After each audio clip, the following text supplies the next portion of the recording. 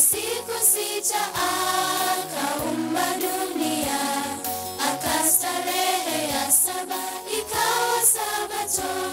Kwa siku sita akaumba dunia, akastarehe ya saba ikawa Sabato. Ikumbuke siku ya Sabato, Mungu kafanya ishara kati yetu naye.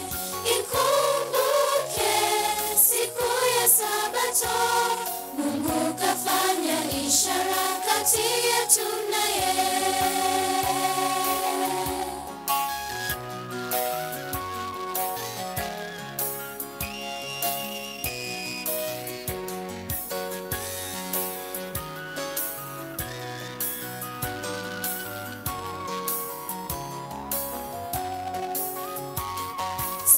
Sabato ya kweli ni siku ya saba, jioni hata jioni ametuagiza.